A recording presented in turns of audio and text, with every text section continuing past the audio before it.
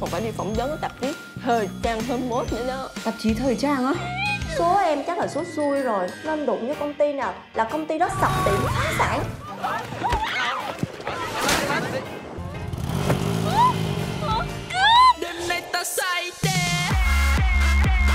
À Linh, em có hài lòng với buổi tiệc sinh nhật mà anh tổ chức cho em không?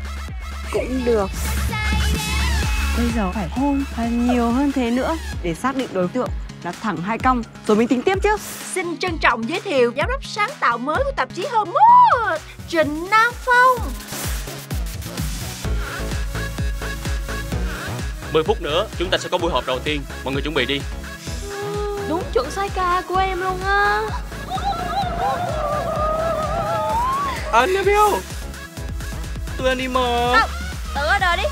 Thì tôi ăn miếng của cô Trả tên tôi. Tôi đã nói là nhầm người rồi mà. Nhầm cái đầu cô ấy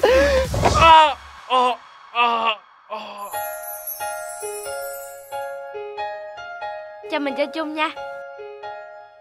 Đẹp thiệt. Mình thích. Chi?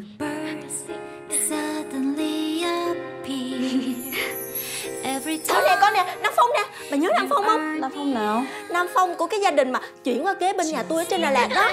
Chả hiểu sao? Mất tích bao lâu rồi? Tự nhiên bây giờ xuất hiện nhỉ Nhắn gì cho bà đây? Nam phong muốn gặp tôi á.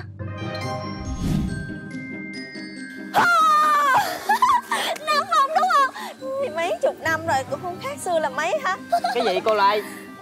Hình như mình nhìn thấy Chi rồi. Sao mình vẫn chưa thấy Phong vậy? Mình đây nè Đang vẫy tay nè. Nam phong. Bà nói đúng. Hắn ta đã không còn là nam phong của ngày xưa nữa rồi. Bây giờ bà mới nhận ra Nếu đã mất công che giấu thân phận ngay từ đầu á Sao không làm cho tới luôn đi? Nam Phong là cái thá gì? Bà cứ phải hy sinh vì nó Bỏ cả tương lai vì nó. Mình không muốn làm bạn thân của phong nữa. Mình muốn làm bạn gái của phong.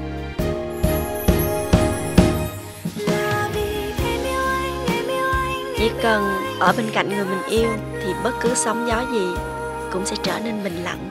Và bất cứ một nơi nào mà chúng ta cùng đi tới cũng sẽ trở nên lãng mạn như thế này Mối tình đầu của tôi phát sóng lúc 20 giờ từ thứ hai đến thứ năm hàng tuần trên kênh VTV3 bắt đầu từ 16 tháng 1 năm 2019.